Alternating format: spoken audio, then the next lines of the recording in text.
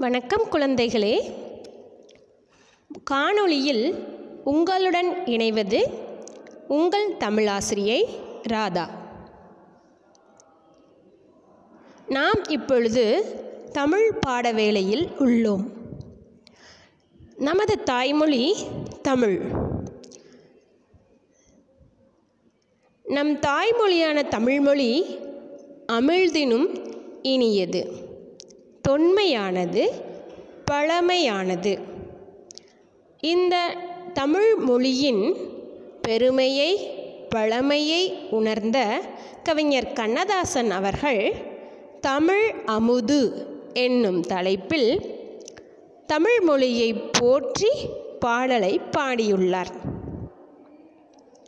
அவர் பாடிய அந்த பாடலை நமது பாடப்பகுதியில் நாம் காண்போம்.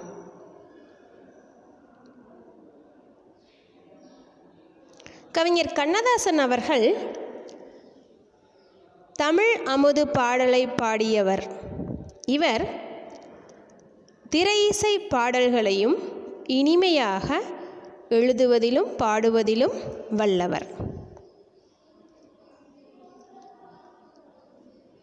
இப்பொழுது பாடலை பாடுவோமா? தோண்டுகின்ற போதெல்லாம் சுரக்கின்ற செந்தமிழே அதாவது மண்ணை தோண்டும் போதெல்லாம் பூமிக்கடியிலிருந்து நீர் எவ்வாறு சுரக்கின்றதோ அதுபோல நம்மளுடைய மனதின் அடியிலிருந்து அதாவது நம் மனதிலிருந்து வெளியில் சுரக்கின்ற செந்தமிழே தமிழ் மொழியே என்று கூறுகின்றார். வேண்டுகின்ற போதெல்லாம் விளைகின்ற நித்திலமே. இந்த வரியில் நித்திலம் அப்படின்னா என்று பொருள். நமக்கு எப்போதெல்லாம் வேண்டுமென்று தோன்றுகின்றதோ எப்போதெல்லாம் வேண்டுமென்று நாம் நினைக்கின்றோமோ அப்பொழுதெல்லாம் நமக்கு கிடைக்கின்ற முத்து போன்ற தமிழ்மொழியே அப்படின்னு சொல்கிறார் உன்னை தவிர உன்னை தவிர உலகில் என்னை காக்க இந்த உலகத்தில் என்னை காப்பாற்றிக்கொள்ள உன்னை தவிர பொன்னோ பொருளோ? பொன் அப்படின்னா தங்கம் வெள்ளி வைரம் வைடூரியம் இதெல்லாம் சொல்கிறோம் இல்லைங்களா? அந்த மாதிரியான பொருட்களை எல்லாம் போற்றி வைக்கவில்லை அம்மா. போற்றி அப்படின்னா சேர்த்து என்று பொருள். இந்த உலகத்தில் என்னை காத்து கொள்ள பொன் பொருள் போன்ற பொருள்களையெல்லாம் நான் சேர்த்து வைக்கவில்லை. தமிழ்மொழியான உன்னைத்தான் நான் நம்பியுள்ளேன். எனவே தமிழ்மொழியை தாயாக பாவித்து தாயே என்னை காப்பாற்றுவாயாக என்னை காத்திடுவாயாக என்று கவிஞர் கூறுகிறார். இப்பொழுது நாம் பாடலின் பொருளை பார்ப்போம். தோண்டுகின்ற போல் பொழுதெல்லாம் ஊற்றைப் போல் சுரக்கின்ற செந்தமிழே. தேவைப்படும் பொழுதெல்லாம் விளைகின்ற முத்தே. உன்னை அன்றி இவ்வுலகில் என்னை காக்க வேறு பொன்னையோ பொருளையோ சேர்த்து வைக்கவில்லை. என்னை காத்திடுவாய் அம்மா.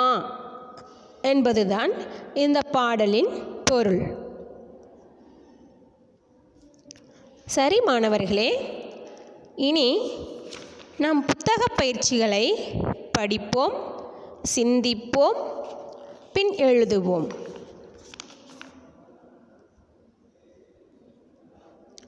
இப்பொழுது சரியான விடையை தெரிவு செய்து எழுதுதல்.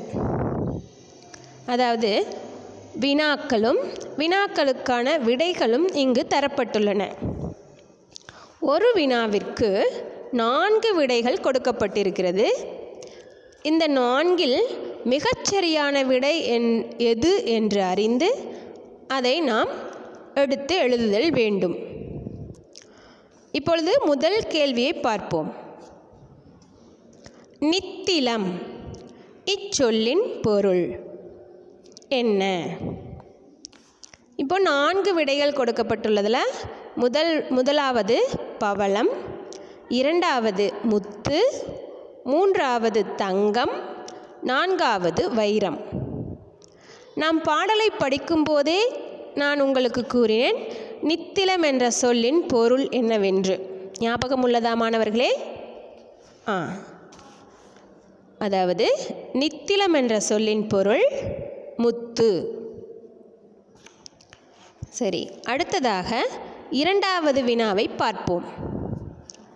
செந்தமிழ் இச்சொல்லை பிரித்து எழுத கிடைப்பது. அதாவது பிரித்து எழுதும்போது நமக்கு என்ன சொற்கள் கிடைக்கும் என்பதுதான் கேள்வி. அதாவது வண்ணம் நிறம் வடிவம் பண்பு சுவை இதெல்லாம் வர மாதிரியான சொற்களை நம்ம பிரிக்கும்போது நிலைமொழி அதாவது முதல்ல வரக்கூடிய மொழியினுடைய இறுதி எழுத்து கடைசி எழுத்து மை என்று வரும். இப்பொழுது நம்ம பிரிக்கலாம். செந்தமிழ் என்ற சொல்லை பிரித்தால் செம்மை கூட்டல் தமிழ் என்ற விடை நமக்கு கிடைக்கும். அடுத்ததாக வினா எண் மூன்று. இந்த வினாவில் இரண்டு சொற்களை நாம் சேர்த்து எழுத உள்ளோம். உன்னை கூட்டல் தவிர என்பதை சேர்த்து எழுத கிடைக்கும் சொல் என்ன? உன்னை கூட்டல் தவிர என்னும் சொல்லை பார்த்தோமானால் வருமொழியில் அதாவது கூட்டலுக்கு அடுத்ததாக உள்ள தவிர என்ற சொல்லின் முதல் எழுத்து தா. உன்னை என்ற சொல்லில் அதாவது நிலைமொழியில் கடைசி எழுத்து நை. கடைசி எழுத்து நை அப்படின்னு வந்திருந்தா அதாவது ஐ ஓசை வந்திருந்து வருமொழி முதலில் தா என வந்திருக்கிறதுனால இந்த இடத்துல இத் என்ற மெய்யெழுத்து சேர்ந்து வரும். அதாவது உன்னை கூட்டல் தவிர உன்னை தவிர. இப்போது இதனுடைய விடையை நம்ம பார்த்துட்டோம். அடுத்ததாக இந்த பாடலில் இரண்டாவது எழுத்து ஒரே மாதிரி இருக்கக்கூடிய சொற்களை தெரிவு செய்து அதாவது தேர்வு செய்து எழுதுவோம். இப்போ நீங்கள் பார்த்துட்ருக்கிற இடத்துல பார்த்தீங்கன்னா தோண்டுகின்ற வேண்டுகின்ற என்ற இரண்டு சொற்கள் உள்ளன. இந்த இரண்டு சொற்களிலுமே இரண்டாம் எழுத்து தன்னகர இன் ஒன்றி வந்துள்ளது. ஒரே மாதிரி இருக்குது இல்லைங்களா?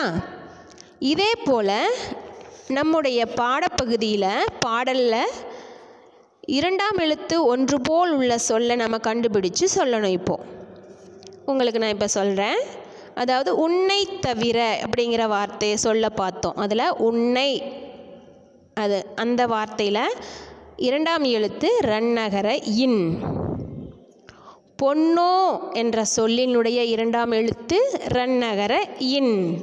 அப்போது இரண்டு எழுத்துகளும் ரன்னகர இன்னாக ஒன்றி வந்துள்ளன. சரி மாணவர்களே இப்பொழுது உங்களுக்கு ஒரு தேர்வு. அதாவது ஐந்து கேள்விகள் இங்கே கொடுக்கப்பட்டிருக்கு. அதாவது மிகவும் சுலபமானவை தான் இதெல்லாமே. கலைந்துள்ள எழுத்துகள் இருக்குது இங்கே ஒவ்வொரு சொல்லினுடைய எழுத்துகளும் கலைந்து இடம் மாறி உள்ளது. அவற்றை சரியான முறையில் நீங்கள் வரிசைப்படுத்தி பொருளுள்ள சொற்களாக உருவாக்கணும். உங்களுக்காக ஒரு எடுத்துக்காட்டும் இருக்குது முதல் கட்டத்தில் பார்த்தீங்கன்னா போ இல் இன் போ ரு என்ற எழுத்துகள் ஐந்து எழுத்துகள் இருக்குது இந்த ஐந்து எழுத்துகளையும் பொருள் விளங்கக்கூடியவாறு வார்த்தையாக சொல்லாக வரிசைப்படுத்தினா பொன் பொருள் என்ற சொல் நமக்கு கிடைக்குது. இதே போல் மீதி இருக்கக்கூடிய ஐந்து சொற்களையும் நீங்கள் சரியான முறையில் வரிசைப்படுத்தி சொற்களை உருவாக்கணும். சரிங்களா? இப்பொழுது இந்த பாடவேளையிலிருந்து உங்களிடமிருந்து நன்றி கூறி விடைபெறுகிறேன். வணக்கம்.